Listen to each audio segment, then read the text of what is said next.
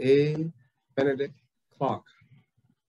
Short, you just say, initial say A. B. Clarke. Now, um,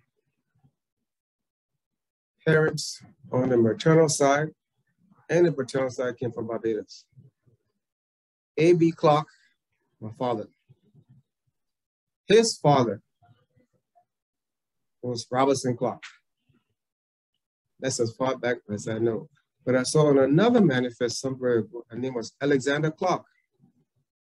And his name was, Alex, my father was Alexander Clarke. That's the A. Benedict Clarke, Alexander Clarke. Now, so I want to suspect that that Alexander Clarke may have been his grandfather, 18 something, because that Alexander Clarke apparently had other clocks. One of them was Robinson Clarke. That was, that was A.B. Clarke's father. Now, Robinson Clarke had a brother called Alexander Clarke. So I believe that that man who was Alexander Clarke named one of his sons after him, Alexander Clarke. So we used Uncle Alec. So where exactly they came from on that side, don't know, but I know it, you know, on that list of Barbados. Now, Alexander Clark, there was Alexander Clarke, there was Robinson Clarke, there was Charles Henry Clarke. There was another Joe Clarke. So that's on the Clarke side. And my father told me that when the Clarkes came, they settled in, in Bassa. They came on, I think he said, he learned that they came Montserrado County first, Monrovia area first. And then the government of the day said, look, we can't keep bringing these people all to Monrovia. We got to send them outside to populate the other places, or else we will lose the land. So that's why I started pushing them out. You go to, you go to, you know, Crozierville, Pennsylvania, you, you can't just, you know, so that's how it started going on. And the Clarkes then landed in Buchanan. I mean, not Buchanan, but Bassa, like what area, in Fortsville or somewhere around there, I'm not sure. And he said that they stayed there. Now, he said when his, his grandfather died, his son, which was Robinson Clarke, my father's father, went, all right, let me put it another way the only place to go to school at University of Liberia. So when they finished high school, they, blah, blah, they all came to Monrovia. And so Robinson Clarke, who's my grandfather, came to Monrovia, went to Liberia College, graduated, and he started teaching there and stayed there and so forth. When his father died in, in, in, in then Robinson Clarke went back there. He picked up his mother and brought her down to Monrovia. She stayed with him you know, all the Congo related stuff him. So when he brought his his his, his, rousing clap brought his mother down, or my grandmother, and it was Jane. We used to Grandma Jane. She came here, she was a widow. Apparently they said she died, her husband died. You know, you know, they put her die 45 or so. So she came, she stayed there with her son, Robert Clarke. While I stayed with him in Monrovia, J. Benedict Mason, Merle Bruce, all of them, the brothers and sisters, their father had lost his wife. So he went and humbled Jane, said he won't get married. So you see how the Congo related. So uh, Mason married Grandma Jane and took her to Arlington. So every time you see Marlon Bruce, he said, you know, related? Where you part? We related. I said, what related? He said, yeah. So when I AV that he was something he used to want humble me. I said, oh, I said, but you were never related to him. and so we always joke. So th th there's a connection all where somewhere there. Robinson Clarke came, stayed in Monrovia. He, uh, you know, in those days, the only thing to do was a government job.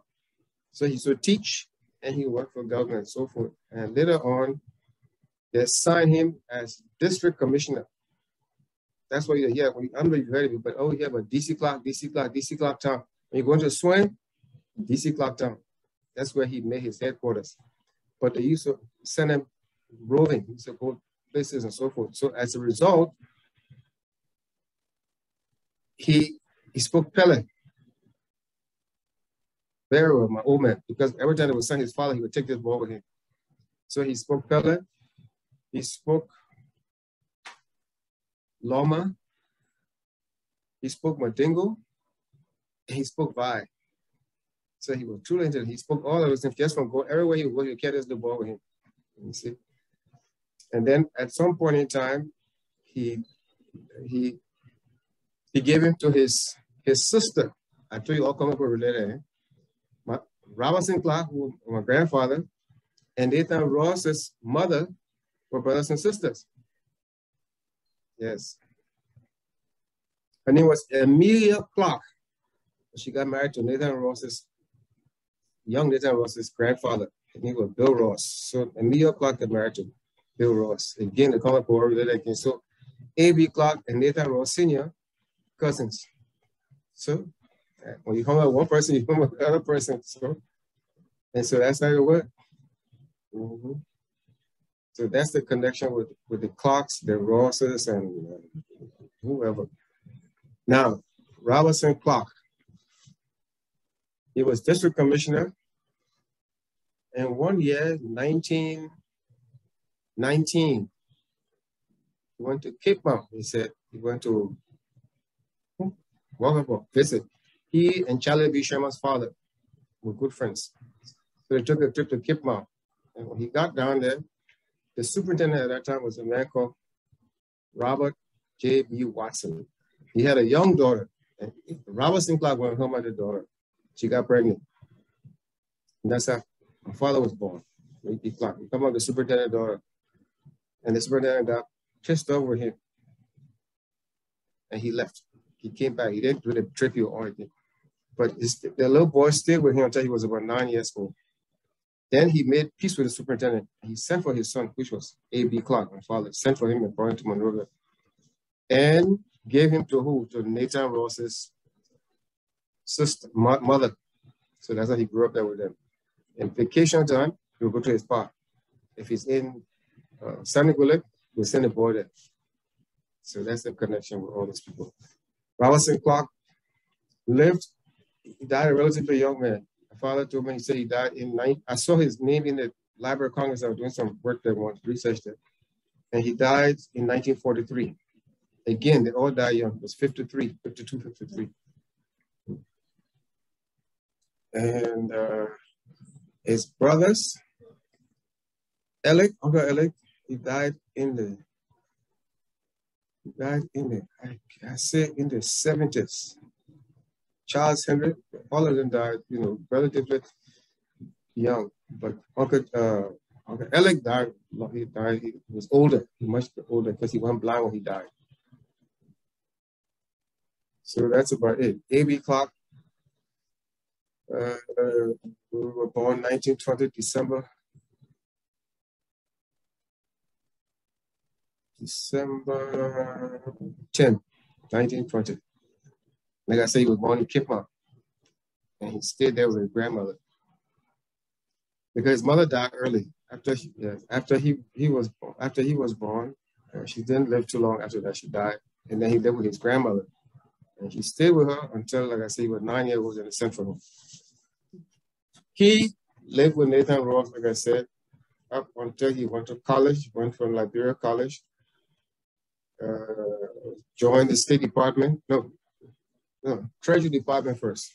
Then from there, he joined the State Department, stayed there. From State Department, he left, and then he got a UN scholarship. But the UN thing was just beginning, and that sort of thing. He and Elliot Cummings, the same Elliot Cummings here, his father were friends from David Boys. They went to American University together and they did a master's. And he came back years later, then Tubman appointed him budget director in 1956. The budget bureau thing was something else. Um, there was a man at the Bank of Liberia called Louis A. Marvey. He came over to Liberia in 1945 as manager for Citibank. For 10 years, he stayed as manager. When his term was over, was going home. But that time, this is according to what A.B. Clarke told me. At that time, Fire, not Firestone, uh, LMC, Bomi Hill was producing a lot of iron ore, said we're making a lot of you know, money of this stuff. So Marvin at the bank, he would go home. He was a friend of Tubman. So he told Tubman, he said, you, you're making a little bit of money now, you need to set up a budget so you can plan for you can budget this thing so you can get the bills done. Tubman said, well, I know, but you got to help me and do it. He said, yeah, okay. And that's how they started. So, so Marvin, when his term was over at the bank, he set up budget bureau for, for, for, for Tubman. He said, you got to know how to manage your money, budget, expenses, so, so, so, so, so.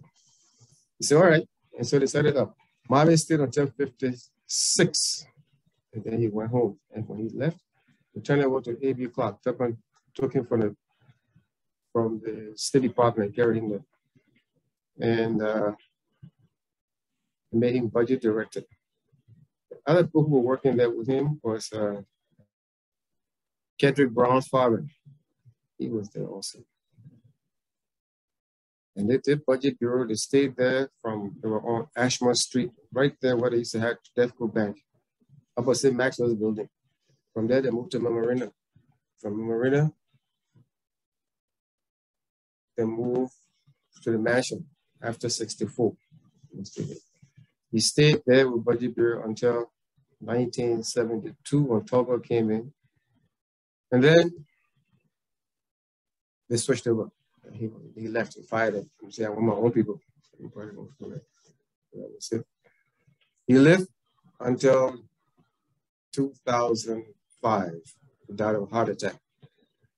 Complicated with, uh, uh, I think, where was it? Okay, look at it. Anyway, when they found he was crutching his chest like this.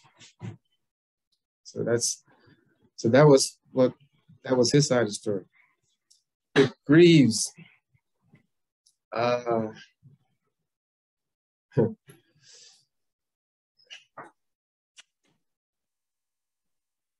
think it was Thomas Joshua Greaves. He was a white man from Ireland. He was living in Barbados, like all the other people that planning this and that, blah, blah, blah, blah. But he's a white man who like black people. So he saw this black girl. Her name was Adley. He went after her. And uh, he was doing a secret thing and they found out. And the white people that beat the crap out of him. Said, How the hell you can be sleeping with a slave here? You, it was 18. And so when they uh, people called him when they beat the crap out of him, he left and came on that boat so that's what you see on that boat with Adley. It ended up in Liberia. That's how he got to Liberia. He was a tailor from what from, from my, my, uh, my grandmother told me. He was a tailor. He came with Adley. Um, now somewhere there's somewhere little they got a little mixed up, but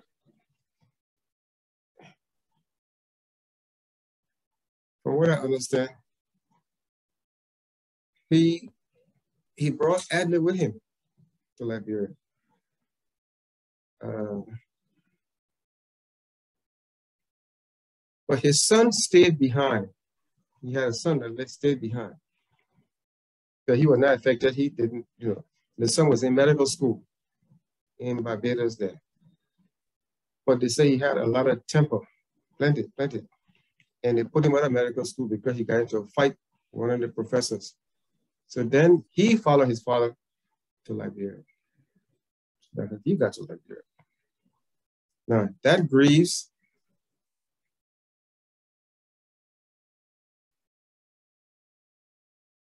it was mixed.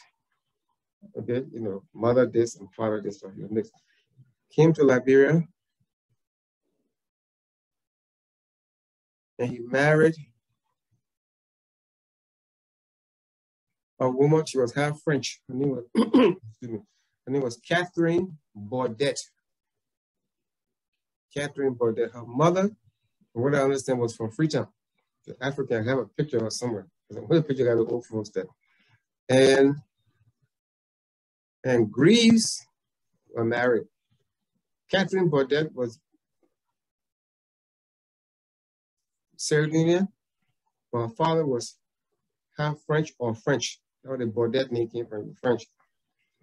Brought her to Liberia, And they had 16 children. Yes. Yeah, 16 children. Um, he he was Catholic, of course. So, and I think they said they had either three or two sets of twins. Again, I told you he had a lot of temper from kick him out of medical school there. But his father was a, a, tailor. He came. But this boy married to this this half Serbian half French girl. With a 13 children, they lived in again, they settled in the same place. They settled in, in Bassa. Mm-hmm. Of the uh, 13 children, the oldest was called Adley. He named after he named again Adley after his father's uh, first was Adley. And what he used to do was he used to send his girls to school in Freetown, uh, St. Joseph College. Because college was a high school. They all went to school there. And from what I understand from him, this is what my, my grandmother told me, that there were no Catholic church around. So living in Buchanan, when the ship come off the coast to Liberia, there were no dock.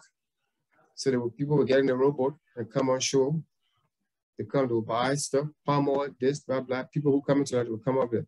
He used to stand on the on the on the on the water side when the boat coming. He would ask them, is there a priest on board? Is there a priest on board? They say, yes, oh man, there's a priest there. Then he would take his children, put in the rowboat, row to the ship, and then the people baptized them. So that's how, he, that's how he used to be baptized. Yep. How he did with all of the kids. Now, some of them died, the boys died, and so forth, blah, blah. But one of his children was William Edward Greaves, that Marcia's father. He was the last child. When he was born, it wasn't too long after his mother died. So he was the baby. So my grandmother, who was next to the oldest, she took care of him. So that's the older mother he knew. Her name was, was Catherine Louise Greaves. You see, so they, uh, so he was a Greaves. There was some other brothers, but all some of them died and so forth. His older brother was called um, Thomas Henry Greaves. He was representative for Bassa in the house until 1958. He died. Uh, I think he died prostate cancer. So he used to live on Benson Street. You come up from Newport Street and you turn to go to Bright House up the hill there, around the corner. That's where he used to live. Next to Barker Matthews. We'll always practice every time I go to see him with Barker Matthews and we all play that together. So Thomas Thomas Henry Greaves, according to T.H. Greaves, but named after the, the, old man. So, so that's the Greaves on that on the Greaves side. Now, uh, Thomas Greaves he um, he never married in a civilized Christian way. He never did that. But he had a lot of children. And all of his children were born on the side, side. He took all these women. Among them was Harry Greaves. Remember Harry Greaves? The older Harry Greaves? Okay, that was his father. Harry Greaves when when when when they brought when, when this little girl came to, to, to, he saw this little girl he said I want this girl he said oh uh, uh, oh man that, that, that's he said that's all right so she pregnant he said that's all right and so he took her so when she came to him she was already pregnant and he took her so that's why you see Harry was dark remember that very very dark yeah but Harry but but Uncle Tommy took his the, the woman, you know, he he got the whole package. Okay, and so Harry Greaves, the only father you know, is Tommy Greaves. That he took before he was born, he, you know, lived there. So, so that's the that was the Greaves side. Willie Greaves and my grandmother were brothers and sisters, but to him, she was the only mother he knew. And so she took care of him all the way, same to like real college and all that stuff. After college, He again he went to work for government. Letting you know, again he, he was made revenue uh, collector, same all the time. Blah blah. I remember as a little boy, I don't know how old I was but very small. We went to spend time with him in Sanniquellie at the time. We didn't know what Sanniquellie meant, but with Sanniquellie, we just went there, spent vacation there with him, and so forth. Now, what Willie Greaves had, phew, he had Elwood Greaves, he had Marjorie, he had Milton Greaves, we had uh, Marcia, Wilmot, Ethan, Kent, and so forth. Then there were the other side. We had Sam Shepard. I mean, he was more grease. You look at him, he was more grease than anybody ever know called grease. I mean, he was well grease statue. And then there was who else? And there Albertine was married to Dr. Barkley, Tina Barkley. Then there Mumsy, you know Mumsy? All right. Waldron. So all those. Well, Grease was married I think three times. The first one was Gladys with the mattress. She was Brewer, a Herbert Brewer's aunt. Then he was married to, again, he was married to uh, Ethel Greaves, uh, Mumsy, Walter mother, and then to Ethel, which is Marcia, the mother. He died in 1960, died, no, 1976. The other brothers, uh, Thomas Henry, he dies 58. The others, various times. My mother, my grandmother, who was Catherine Louise Greaves, was married to a Pratt. The Pratts came from Freetown, Morristown. There were five brothers, I understand. One went to Buchanan. That's what that was, that was Alfred Pratt. That was my grandfather. The other one went to um, Sinoe, that Reginald Pratt side. The other one went to Kipamas. His daughter married Tubman, or Tubman's first wife, Martha Pratt. Mm-hmm. So those are the three, the three, uh, three, the three uh, Pratt people. Now, Pratt went to the one that went to Buchanan, met my grandmother in Buchanan. That he was a, so he was a builder, builder, a contractor, and he met her, and they got married.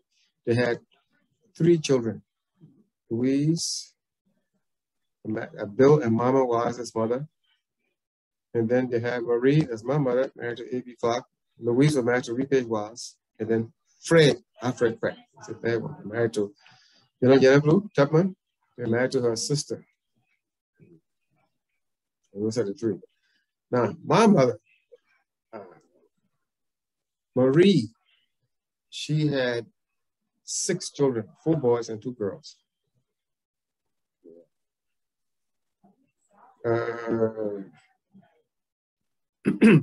she, by the time she was born, no, no, no, no sorry. They were, all, the, all the kids were born in Bassa three girls, Louise, Marie, and Fred, two, two, two girls, one boy, all born in Bassa. Sometime after they were born, they moved out of Bassa and moved to Kakata and lived in Kakata. When you go into fastness, they call it 26 gate. That's where they live. Uh, the three of them grew up there, and Catherine Louise Pratt sent her kids to convent and the boy went to St. Patrick. St. Patrick was opened in 1937, the senior convent, 1937. So she sent them there and they stayed there. After that, then they went to Liberia College. From Liberia College, they got married and so forth. Louise had three kids, Marie has six. Louise was, uh, she learned secretarial work and she did uh, sewing. She learned sewing, I forget who it's in now. Marie went to teaching as a teacher. And then uh, after we went through high school, then she went to law school. I remember saying to her, I remember saying all the time, you know, when my children, when my children uh, are big enough, they're going back to school. But I'm not leaving them, you know, and so that's what she, she, she became a lawyer. She worked with the, uh, first she worked with uh, S.B. Cole's father, the S.B. Cole, Eddie Cole, Samico Law Firm. She worked with them. And after that, then she joined the Tupper Law Firm with Broderick and so, so, so, so. And then afterwards, then she was employed at the Supreme Court as Director of Research. That's where she stayed until the coup. After the coup, she stayed. They gave her a hard said she come up what she doing here was Director of Research. But Bala said, try to fire her. We wanted to get a job with somebody else, but somehow she survived. So Balazir was a Catholic. So Marie Clarke went to Michael Francis. And he said, Oh, Bishop, I didn't know that was my sister. I didn't know that was my sister. So that was that was it. He stayed there until when the war broke down, the road stuff messed up, and everybody scattered and came on the side. So that's about the shape of things to come. And Louise, and Louise were Robinson Clarke's sister. And my father's auntie. Like I said, he had uh, Amelia Clarke, was married to, to Nathan Ross Senior father, and, uh, and Louise, who was married to J. Parker's Page, Willie Page. And Louise, okay. Yes, yes, yes, yes. Wow, you got you got memory, huh? Marie Clarke, she, she was she was a teacher for 16 years at convent before she said when you know when she figured I was strong enough and she then she went to law school. So she spent those years teaching all those people um, um, and uh, A.B. Clarke. Like I said, he was the uh, he was Tubman's first the first budget director, and uh, and Marvin told Tubman, he said, you, you know, you're making this money now from the, the IO money. You got to figure out how to spend it. You got to budget it properly. And, and, and Tubman said, well, you got to help me. What is the budget thing? So, you got so he set it up because he was the manager of the bank. Citibank was right next door. You see, to the mansion, all this was. Edward Greaves, he was mm -hmm. commissioner of customs as Commissioner of Customs. Yeah, he started off with, you know, uh, uh, revenue agent and moved on and all this stuff. And then he was also, he also was in the military. You know, uh, something, I don't know, some kind of general there. But he was in the military and, uh, and he was Commissioner of Customs. Um, Tommy Greaves, he was in the House of Representatives for years. He was the one who used to get all the, he was who guaranteed the votes for, for Bassa. if you got him on your side, you got him. You know, you don't have to worry about anything else. So that's how come he and Tubman were such good buddies. He stayed there until he died. Thomas Henry Greaves. Um, story about old man Greaves, the one I told you to go to the is any priest on ship? You know, Irish accent. Any priest on the ship? Yeah, man, he said, he would come on. I said he had terrible temper. He sent his son, one of the sons that I told you, Thomas Gray, the one who became representative. He sent him to the store at the time the biggest traders in Liberia were the Germans, not the Lebanese, or long before the Lebanese came much later. But he sent Tommy to the store to buy a lamp. You know, the lantern to. So he goes to the store, he buys a lantern, he comes back and give it to his pa, the little boy. He put the thing in there, the wick didn't come out right, didn't want to work. So he tried to let it, didn't want to work again. So he told Tommy, come here, boy. Carry this thing back, carry this back. So the boy carried it back to the German man. The German man refused to take it. So he brought the lamp back and gave it to his back. He said, he said, the man said, he's not taking it back. He said he was tall. He got up, picked up the lamp, and walk down to the store, open the German man closet, and put a lamp inside. So this one, my grandmother told me that story herself before she died, and she died 19. I was in law school when she died. She died in 1972. I think she was 82 when she died. She said, Tommy carried the hat, the lantern to the man. He said, no, you were not taking it back. He said, to bring it. And saying, Paul went down there to, to him and took the lantern with him, opened it twice and put it inside. about that. I remember seeing a picture of her. I got a picture of her. She she said when when her when her my grandmother told me that when Tommy got his first job, he went out to the store again, a general store, and he bought a hat. The hat was too small But they used to have people, you say, you know, they used to have photographers used to come on the camera. Mom, you want to take a picture? He said, yeah, bro. So she took the hat, put on her. It was a little too small, but she put it and sat on there and he took a picture. And so that's the picture of all him when he took the hat with it. With the thing. And I still got that picture somewhere here. And the story about that picture, when we were little children growing up, we had pictures of all the old people, all the But when the war came, lost it all. Now, I just thought I was going to Abidjan to come back because I sent my mother. And figured, I said, well, don't stay here and die. He will, he not let these people kill him. So I went to Abidjan and said, well, let me go there because evil was there. So well, I'll go there and just cool off a little bit. And we broke the house, took all this stuff. But that picture of Catherine Baudet with a hat on, Marcia had gone back to Monrovia. And she was down the street in front of what the place called, what was, buy your own thing. Central Bank, uh, National Bank, Ministry, you know what, Ministry of Education. Mm -hmm. And she saw mm -hmm. this picture and she said, Oh, I see the picture somewhere before. I see the picture somewhere before. And she couldn't remember, but she, it was familiar. So she, oh, I saw the picture at Cousin Marie place. And she bought it, she bought her own, framed the picture and took it home. And she photographed the thing with her little camera and sent it to me. And I showed the woman, said, yeah, that's my grandmother. So I still got a little picture of it. It didn't come out too clear because when she sent it to me for, but in South Africa, she sent it to me in South Africa, she sort of like faxed it. But it's still, you know, you can enhance it, can do that with. But that's the picture she had when they put this little hat on her head. She took it. Yeah. I think her greatest quality to, to, for me was the sacrifice she made to make sure that I always used to say my five little children or my six little children. So I think that's the sacrifice she made that made me realize that that was the greatest quality. Sacrifice for her children. Her father, A. Pratt, was a lawyer. You see? And so she wanted to do that also, but she waited until we were strong enough, you know, in high school before she decided to go to you know. And I remember when she uh, she when the old man came back, he brought a whole lot of books for her. You know, sharing things are strange. When I left Liberia, I left all my books and all that stuff, blah blah. Somebody went back to Liberia. I said, Ben, when you go to Liberia, go to my office if you can. I know the thing all scattered now, but if you find it in my books, you can bring it. And he bought three books for me, and that's my prized possession.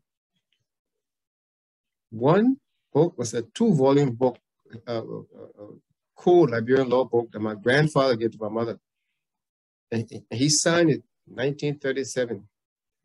And those are the two books. The other one was Richardson History on Liberia. You can't find any place anymore. And why, when he went to my office, he could still find it, I don't know. Those three books he brought back. So that's how she became a lawyer. She inspired. And it was because of that that she when I was graduating from high school, I still didn't know what I wanted to do. And I, you know, my father wanted to, me to follow him to do economics, but I didn't know. So it was not until after I graduated from high school, I went to college. Then I said, all right, I will do the law. And that's how I got to it. Yeah. Let me tell you one story about education.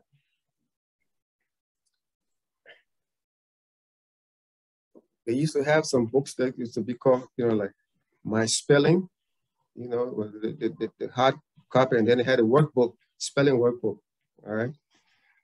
And so she would teach us, all I would sit at our dining room table, doing our homework and all that stuff, showing us stuff. And she was like on top of everybody. So me, my father here, I will never pay attention to what she was saying. Open, when she's telling somebody, say, no, no, write it this way I'm looking at. Maybe you could try to so, and there was a there was a, the spelling book, the workbook. You open it up, and there was a the thing in it. It says that read the, the text and then answer the question, right? So it says, I am red, I am big, I am brown. Children carry me to school. What's my name? I say AB. And you know what it was?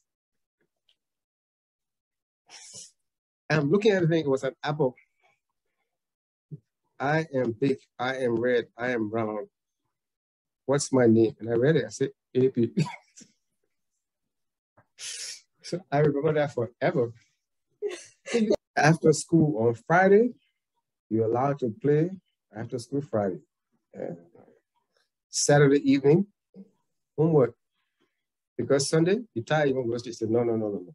Saturday, we'll do your homework. Everybody. Be prepared for tomorrow. That was it. All the kids went to college and they all went beyond college. All went beyond college. Yeah.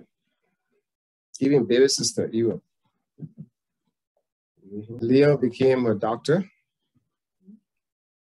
Winston went on to do clinical therapy. At one point, he was supposed to dentistry. Yeah, he got out of that. Then after Winston, then uh, Eric, Eric did economics, finance. Dorothy did nursing, and then she wanted she did pediatric nursing. Eva, LU, and then she went to London University and did uh, economics. well, let me tell you another story about Marie Clarke. Uh, she had four boys. and she was looking for girls. So when she got pregnant for the, the fifth time, that one, not they say I was dead. She uh,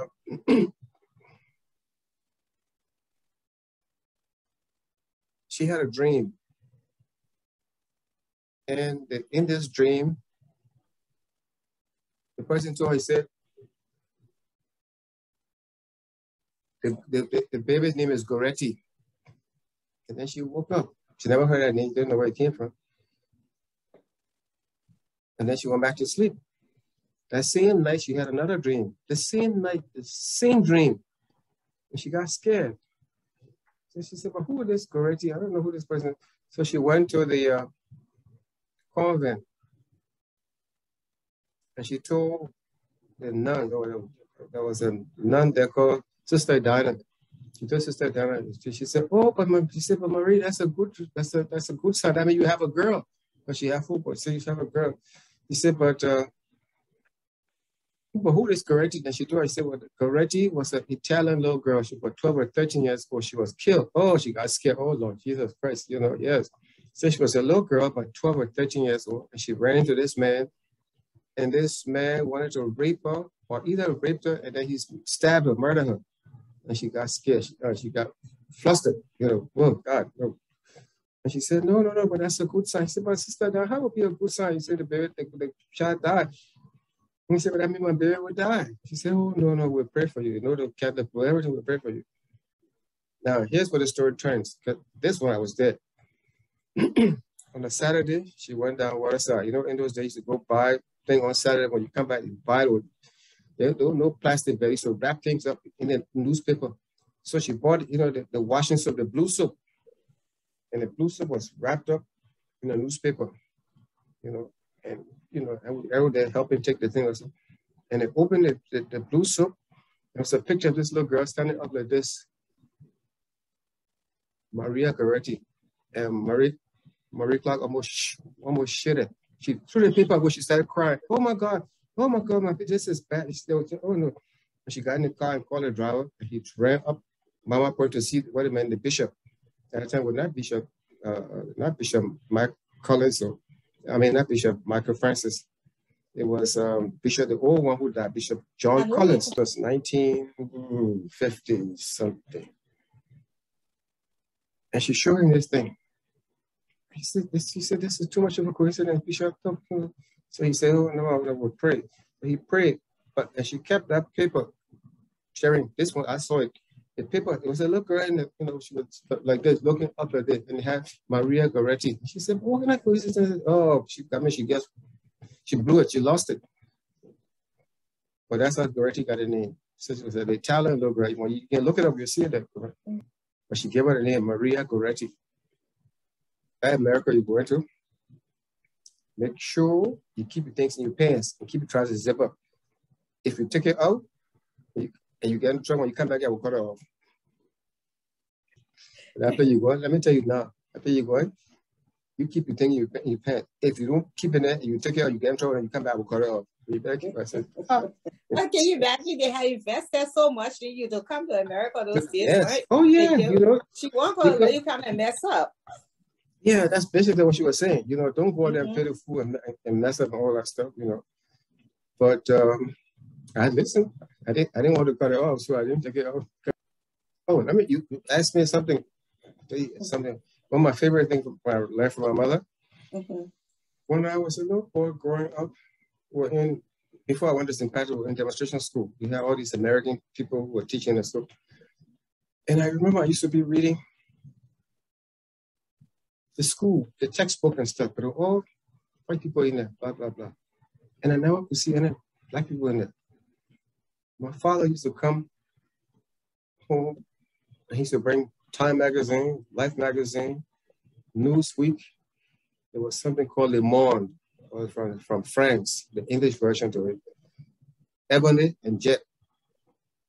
So I asked them, I said, Mommy, I said, well, ever see any black people in Newsweek and Time Magazine, all those things? But I always see black people in Ebony. But I don't see any white people in, Ebony and so forth. And she explained to me, she said, well, you know, Ebony means black. It's, it's, it's a magazine for black people.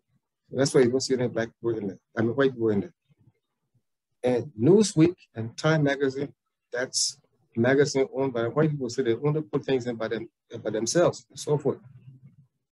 That was too small way back then. But then I said, but and they all the same in America? She said, yeah. I said, what's the difference between, you know, uh, uh, the white people and the black people? And she told me, she taught me a lot of things. She taught us a lot of things. I think I listened to her more. And she's, and she said, and she said, Time magazine and News magazine, they are Negrophobists. I said, what does it mean, Negrophobic? He said, they don't like black, black people. They are afraid of black people. And uh, they have a hatred against and I said, but wait a minute. But they all live in the same place? And she was trying to explain. She said, yes, but they got some white people who don't like black people. And so you won't find them in a white people magazine.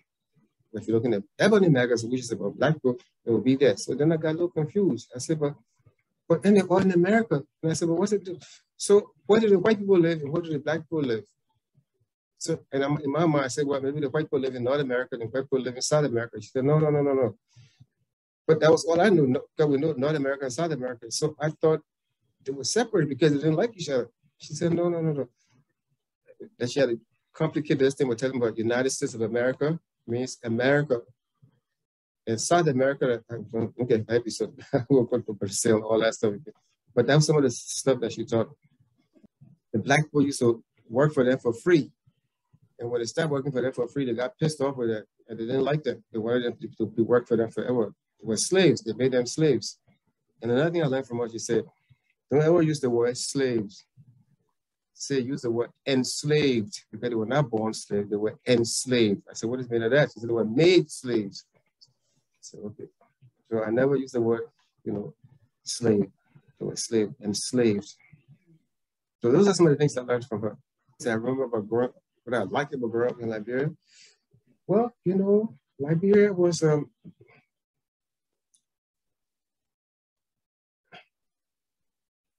Liberia was an open, young, and developing society.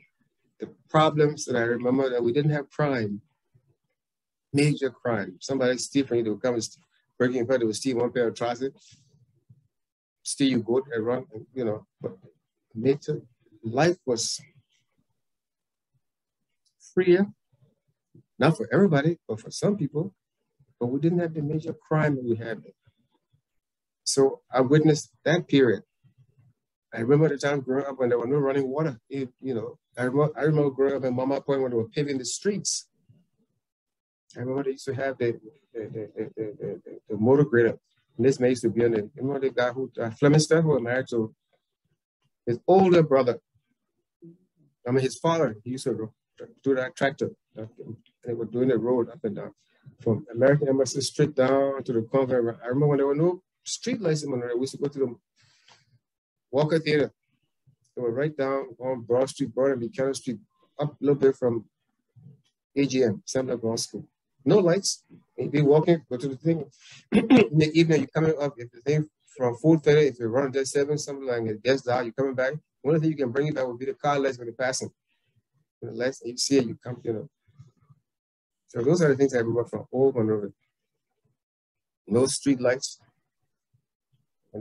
Monrovia up and down, the street, Broad Street was paved. I was at St. Patrick Elementary School.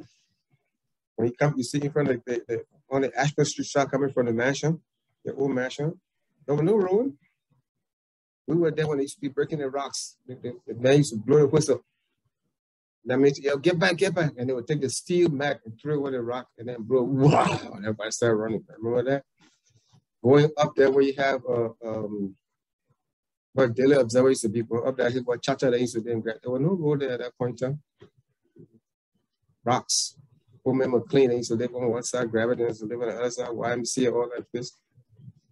So those are the things I remember oh, all Monrovia. And then slowly they began to build up with lights coming and running water and then traffic light. The first street light, traffic light was put up on Randall Street and Ashmun Street. You had a mansion right here. You had a traffic. You know, that light is still up there. It's not working, but it's still up there. Oh, it's still there. So those are some of the things I remember. Walker Theater was Ashmun, I'm sorry, uh, Broad Street and uh, Buchanan Street, right there, somewhere go right on that spot. I forget how much to go by. What we they used to call it matinee. 4.30, we used to go to, I think it was like 25 cents for downstairs. And then upstairs was 50 cents, but we never went upstairs. never went upstairs. 25 cents was good. And then later on, when when when, when George Padmore brought uh, uh, movies, you know, on the expanded basis, they used to have it there on City, because my City Hotel. You know what City Hotel is? Mm-hmm. There was a time when you could almost go into the thing free. You had to take the tie box. Mm-hmm. Yeah, you buy the tie, you take the box top off. And you take it to the door and before you in because we're promoting tie. So the more you buy, the more tops we have. You take the top off and you take it the tie box top, basically. You go there, you go. And at that time, the go to the movie was like 15 cents. To go right in front there, you still look the what 25 cents. And then to go upstairs would be something like maybe 50 cents or so. And now we're upstairs. 15 cents was good enough for me. We stand there and, and yeah, look up like this. Because you almost right from the screen. Okay? Um, Matthew, my classmate. John Moore, who was the pilot in Steve uh, Thomas plane.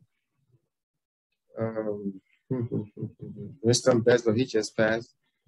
Jame Latte, he he's still around. Reverend Latte's son, um, in the elementary school. Godwin Amadashi was there. Roland Carey. Um, who else? in Elementary school. H.Q. Taylor.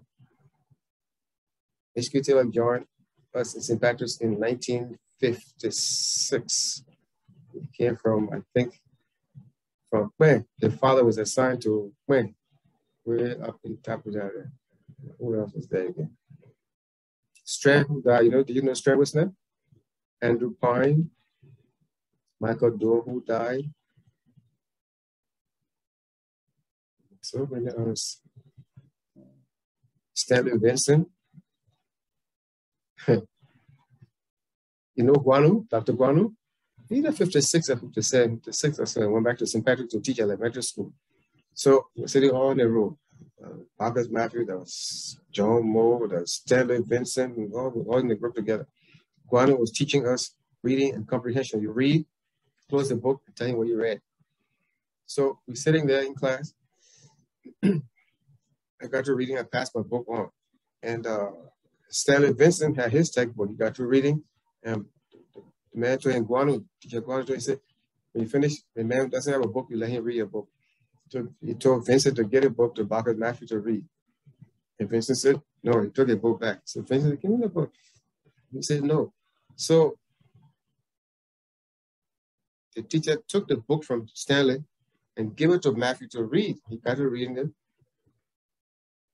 He gave it back to Stanley. Stanley was pissed and he punched Boggle Matthew in the mouth. Yes. And the teacher, Professor Teacher Guanu, he reached back in there and grabbed Stanley Vincent up from the classroom, brought him to the front of the class, and whipped the stuffings out of him with a rat tail. And Boggle Matthew mouth was all swollen again. And he went home. He came back the next day. Was I said, I said, how did Murphy say, huh? He said, but who didn't eat all the pepper just burning me? Mm-hmm. We were in fourth, fourth or fifth grade at the time.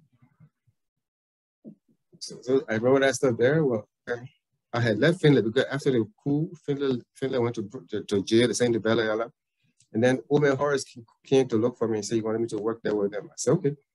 So we're there. One of the clients who used to have a Finland office came looking for me and told me that uh, his wife's mother had died and she had a lot of property. And among the things he had, gold and all of this stuff, blah, blah. But he wanted me to fish the thing for them. Because other people, other children, people family, money, know nothing about it. And so if you well, do something good for me, I'll give you uh, some of the property. I said, no, I don't do that kind of shit. I said, what are you looking for? It's not a lawyer. Looking for a crook. I cannot do stuff like that. But what do you want? No, no, no, no, no. Your kids, I never saw them it. Don't be greedy for money or property. Ah. And don't be stupid. Use your head. You know, let me tell you something. I stuck with the old fashioned training that I learned from my mother, my grandmother, and my father. You know, the stuff that doesn't concern you, don't put your hand in that. Don't, don't, don't hang out with the wrong crowd. Education is the most important thing in life. If you don't have it, in fact, I always tell them, I said, look, education is like a step on a ladder. If you go to the post office and mail a letter, you don't put a step on it, you're going nowhere with it. That's the same with education. If you don't have it, you don't go no place. You know, and so I stuck, you know, and and and I knew that this society was a hell of a society to live in, you know. So I stuck with them. I mean, I stayed on top of them, made sure they did the homework. They won't go this place. No, how was it? I said, no, no, no. You, come, you didn't come here for that. Even in Liberia, when you come to and say, oh, yeah, our friend still must invite us, we can go do sleep over. I said, sleep over? Yeah, sleep while you're bad, baby. And you see your friend at school every day, yeah, but then where you going to go to, how much more do you want to see again? Or that come with some, come some, some other silly ashtray, they still having a pajama party. I said, no, baby. Mm-mm. Go tell you people at the school that we don't do pajama party, yeah? We do pajama when you go to bed. So the whole style value, you know, so I knew all of these things that put do here, but I stayed away from it. You know, no, no, no. Can we go? No, no, no, no, no. You didn't come here for that. But that everything you said, we come for that. I said, well, what did you? What you came here for? I said, you know what you came here for? No, you came here because you came here to have a second chance in life, and that's how it's gonna be. Mm-hmm.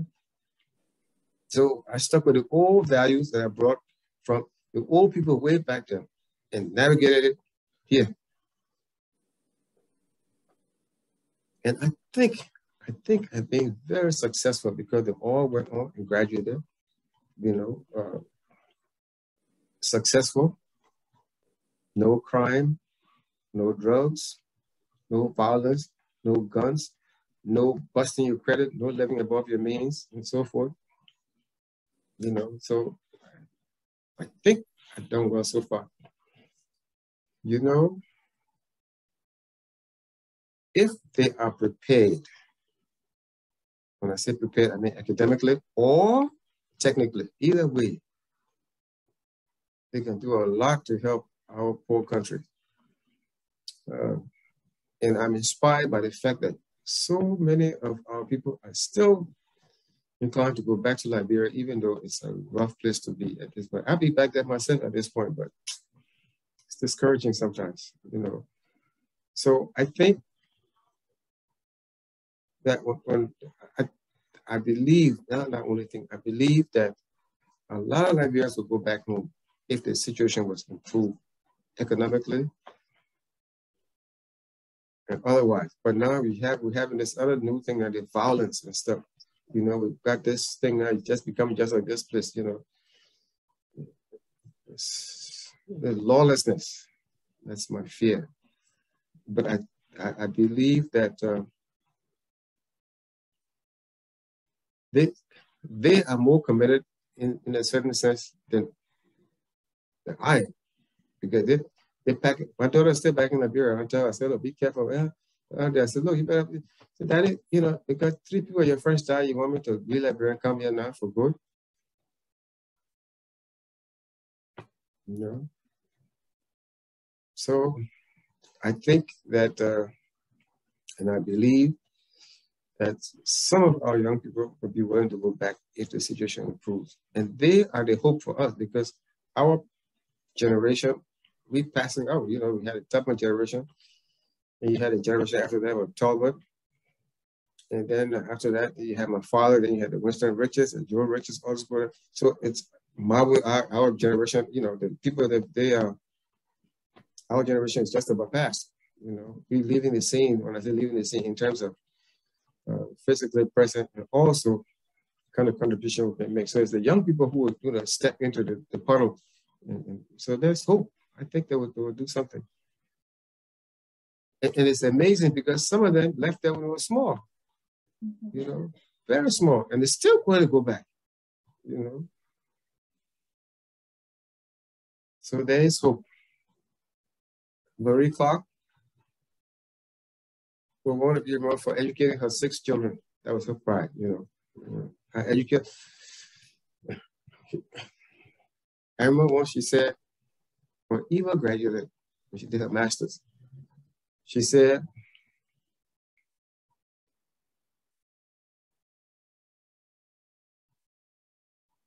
she said, you know, I, uh, I've educated all my children. Now, all I wanted, and he looked up and said, all I wanted to do was take a mission and to join my grandchild. You know, she was a family-oriented person. And I think she wanted to be remembered for her family. You know, she, she, she I mean, she was family-oriented. That was a family. That was the biggest thing. Family, family. Her, her, grand, her grandchildren, her children, her grandchildren, children, her grandchildren. That was all. And, and even she, she didn't give up on Liberia. She went back there. She went back there and tried to live there until it started mess again. She came back here. Mm-hmm. A.B. Clarke went back there too. In fact, he didn't plan to come back. Just got caught up in the mess back there. Luckily for him. So I think he, more than anybody else, not, not too long before he died, but waiting for the election. He said, after the election, I'm going home. Okay, what happened? I'm going home. And then he didn't live to see it. They, the, the, the old folks made a hell of a sacrifice to go to Africa, sight unseen, unknown. Someone that couldn't make it, it went back, went back. And I believe that future generation owe them a lot. So when you when you see all the stuff that's going on with, with the, the, present leadership, they're doing messing up the country, all that stuff, I keep saying to myself, even though I haven't gone back to, to do what I'm saying should be done, I, I, I say to myself all the time, you know, we shouldn't let it go down the drain because those people made a sacrifice. They gave us a flag. They gave us a passport. They gave us borders and put all of those four together. They put us on the map of the world. So that's that's what they left with us. And now we cannot afford to let it just go down the drain, even though we have no control at this point. You know, we're just we're just bystanders and see the thing go down, but we can't do much. I mean, we, it, it, that's what so hurtful. We can't do anything about it, and it's just going down the drain. So, no matter what happens, we still and I give them, my, take my hat off to people like Banky and all these people there who who struggling to make sure that the thing doesn't die, because it's sinking. It's sinking. And we who are still here, I don't know what we can do, but we can't let it die. We shouldn't let it die. We can't, you know, what is Liberia at this point? Nothing. We, the people who, we the people who founded the OAU, they kicked us out already. Did you know that? Yes, no. kicked us out. I do help you. I do made making arrangement. I to go and do something that I think we were only sitting when, when Ellen left, we were owing then eight million dollars. Hadn't been paid for 19, whatever, 85 or two or whatever before that. So she made an arrangement to pay. And uh, they left us with something like $8 million. For send that down, they never pay anything after she left. So the people said, you have no voting right. If you continue this way, you know, you can't even sit here. So they did something, they made some arrangement. But this is Liberia. This is the country that helped to find, found the United Nations in 1945. Mm -hmm. So this the thing that scares me is that we can't do much to save our country. We can't. There's no, I remember Joe Richard told me one day, we say that talking. Say, you know, Cloud? Say, my people founded this country, and now one of them the legislature today. They're not one of them.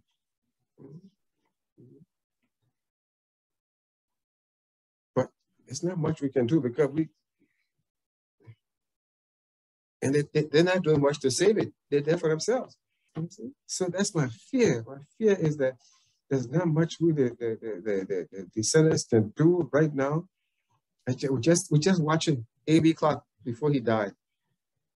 The minute the thing opened up, he called me one time. He was in Maryland. He called me. He said, "Look, people, I need you to do me a favor." So he said, "There are a couple of books I want you to get for me at the University of Pennsylvania. Grounded.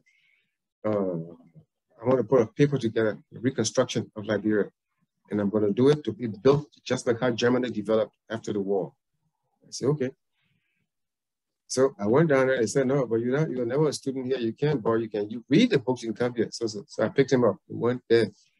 He wrote a thing about this, the reconstruction of Liberia. He took it to Liberia. At that time, Taylor was there. He went there with his paper and stuff. And he met Cyril Allen, and he met Shaw. He told him what he had is produced this thing. He wanted to give it to him. He, said for, the, for to, to, to, for government to use this to, to, redevelop and develop the economy. He said, if they do this thing, we'll come back and we're serious about it. We how you see the German people came back. And, and, and Allen said, oh, Mr. I'll bring it, I'll give it to him. He said, no, no, no. I didn't come here to, I said, I made an appointment with the man. The man told me to come here and give it to him. I want to split it in. He said, the man, sit down there, sit. He never saw the man, never saw Charles Taylor. Every time that he would come he see Shaw, he said, tell the man told me to be here. Did you tell him I'm here? He said, he said, yeah, we told him. He said, I gave him the note. If you told him I'm here, give him this note, let him write back on tell me to wait or go. The note never came back. Which man never give it to him. He said, okay, fine. Then I'm, I'm, he said, Professor, can I give it to us? He said, no. No, no, I didn't, you didn't do this work. Why should I give it to you? If I can't put it in here, then I'm taking it back. If you can't see me, fine. You gave him the note and you haven't given it to him. That's why he hasn't written back on it yet. He said, Cyril Allen is my man. He said, he gave up. Mm-hmm. He was he did that stuff based on the, the, the thing that the Germans did to come back after the war. You know, so so you know, so I can't see how if you go back, you try to help and so they would think you you, you know you want that job and so forth. So mm-hmm. he, and he told her, he said, Look, I'm not looking for a job, oh. I'm retired. I'm trying to give to him this thing so he can read it. If he wanted to give it to you, then that's fine. But you know, and he never saw Charles where he left. Disappointed, he came back with a paper. They, they are in Ghana. Mm-hmm. They call him Graves. Hmm. Willie Greaves, Marcia's father, Willie Greaves, he went to Ghana to make the connection and he found them. He took a picture of them. I got a picture of them when he, when he met the Graves in Ghana. They call him Graves, Greaves, and he made connection with them. They all took pictures of them together brother that went to Liberia, the other one went to Ghana. Mm-hmm. Mm-hmm. And he made connection with them. And we'll agree to a picture with them.